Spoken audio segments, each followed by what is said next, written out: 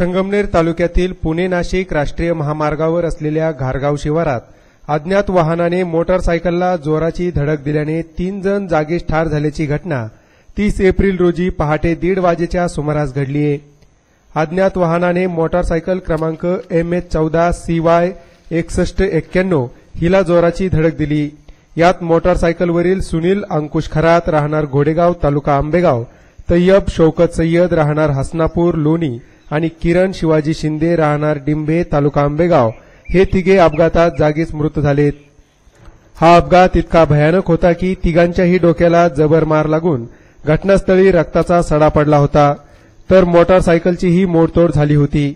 या तिघांना उडवलेल्या त्या अज्ञात वाहनाचा घारगाव पोलीस शोध घेत आहेत.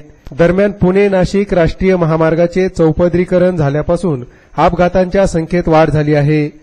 तर अनेक ठिकाणी कामेही अपूर्ण असल्याने देखील अपघात होत आहेत. प्रतिनिधी नवनाथ गाडेकर माय न्यूज संगमनेर.